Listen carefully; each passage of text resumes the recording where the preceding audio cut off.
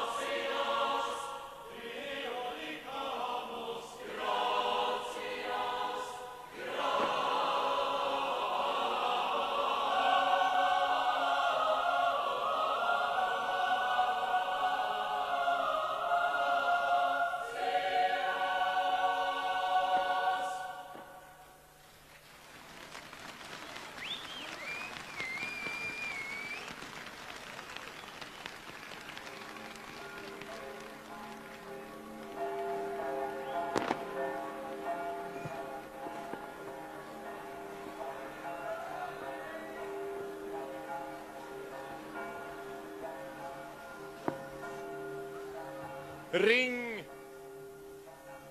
klocka. Ring i bistra nyårsnatten mot rymdens norrskens sky och markens snö.